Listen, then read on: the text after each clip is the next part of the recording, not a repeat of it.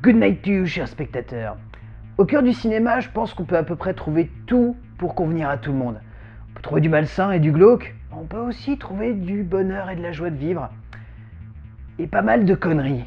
Ainsi se pose ce monde magnifique que nous explorons les samedis soirs dans cette émission. Cette idée qu'au cœur même du 7 art, on puisse raconter toutes les histoires possibles et imaginables, allant des plus macabres comme Nécromantique, en passant par les plus joyeuses et folles comme The Notebook. Oui, je l'avoue, j'aime bien le film de Cassavetes. Ça vous pose un problème? Et puisqu'il y a les films entre les deux, qui se posent comme étant des bons délires, des délires complètement fumés et déjantés, mais qui veulent quand même avoir presque une certaine profondeur et intensité émotionnelle, et c'est dans ce petit interstice bien étrange que se pose le cinéma que l'on explore dans cette émission. Et c'est ce petit morceau de bravoure presque que j'aime vous faire découvrir. Et là j'en ai trouvé un.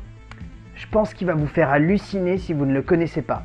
Et je vous le jure. Un délire né d'un concours organisé par Tarantino et Rodriguez pendant la diffusion dans plusieurs salles américaines du diptyque Greenhouse, où plusieurs auteurs ont essayé de concevoir un trailer qui donnerait potentiellement envie de faire un film basé sur ces courts morceaux de bravoure. Jason Eisner a donc décidé de créer un monde futuriste coloré et disco dans lequel un clochard allait prendre les armes pour rendre la justice à coups de shotgun, alors que la seule chose qu'il souhaite, c'est passer la tondeuse et trouver un semblant de vie normale. Oui, je ne vous mens pas, c'est le concept de base d'un délire dans lequel il a réussi à embarquer tout de même le grand, l'immense, le plus charismatique des réplicants, Rutger Hauer.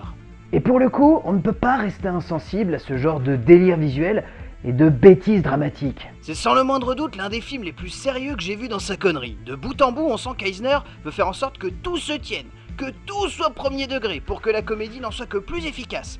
Et cela se ressent à chaque scène. Tout est trop sérieux, tout est trop direct. Et pour le coup, c'est presque ça qui rend le film cool et fun.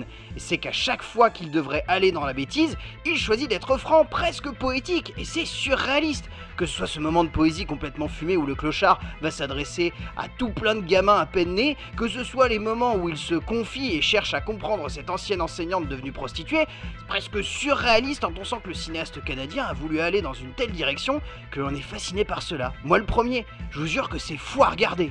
Bien sûr, l'univers ajoute beaucoup à tout ça.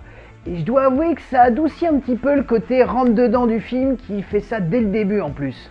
Que ce soit dans la conception des personnages secondaires, la création de l'univers, le jeu un poil outrancier de certaines scènes qui abusent des effets gore surfaits, ou que ce soit plus radicalement dans la conception des retournements, tout ce film pue un premier degré qui ravira vos zygomatiques de bout en bout, pour atteindre un point de non-retour où vous semblerez presque fasciné par cet objet unique en son genre et rare presque à constater.